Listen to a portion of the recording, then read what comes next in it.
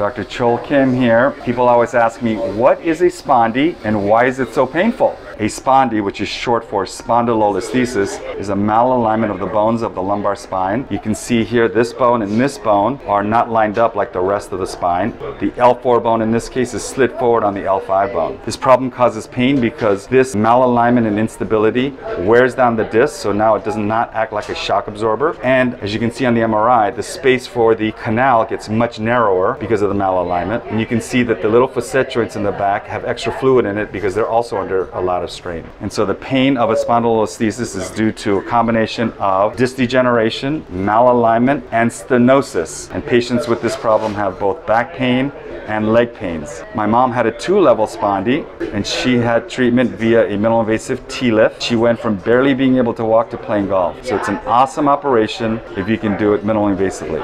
Although this is a very common problem, we're lucky that we have a really good treatment for it.